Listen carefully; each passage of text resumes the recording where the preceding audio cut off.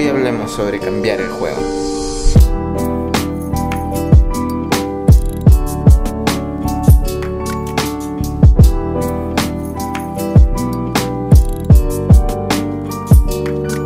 Luego de dictar varios años, entendí que hay un sistema de educación porque es difícil gestionar miles de alumnos, así que tiene que sistematizarse.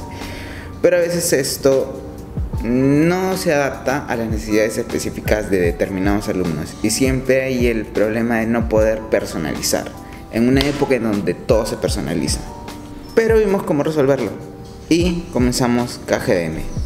La educación está orientada a ser por demanda. El maestro llega cuando el alumno está listo.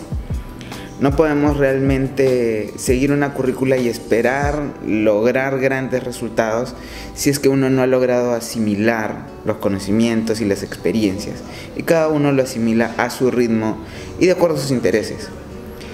Así que debería ser, suene bien o mal, como una máquina expendedora, donde tú lo que realmente estás listo para asimilar, pides.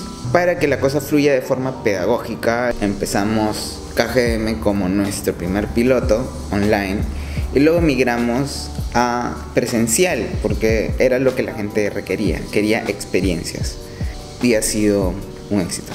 Estamos como que en el break de la sesión del primer piloto pues de clase con Smoke. ¿Dónde está? Se perdió. Está por ahí. está con la lonchera. Ha venido ahí Fixtoy, Elliot. Y justo estuvimos haciendo un live, chévere la recepción. La gente pide ya réplicas. En agenda también taller de Final Cut. Seguimos pues con, el día.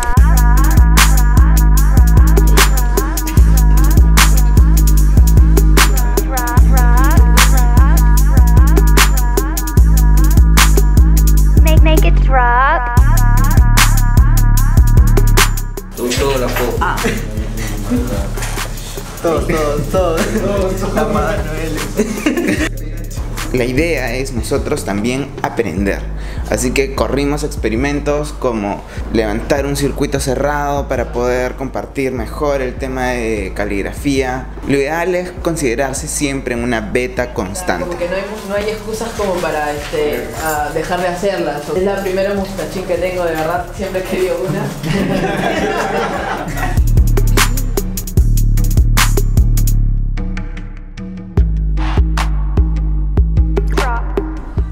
Muchas gracias por acompañarnos hasta ahora a todos, tanto la gente que está consumiendo los contenidos en el piloto, los instructores, las marcas que nos están apoyando.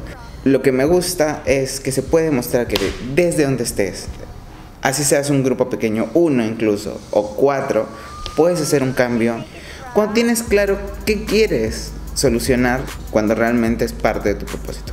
Viene taller de edición, Final Cut, como siempre con sus agregados, sus regalos. Así que si le estás agarrando cariño a estos contenidos, no te olvides, compártelo. Eso nos ayuda un montón. Y sobre todo, no perdamos el contacto. No dejes de trabajar duro y ten un genial día.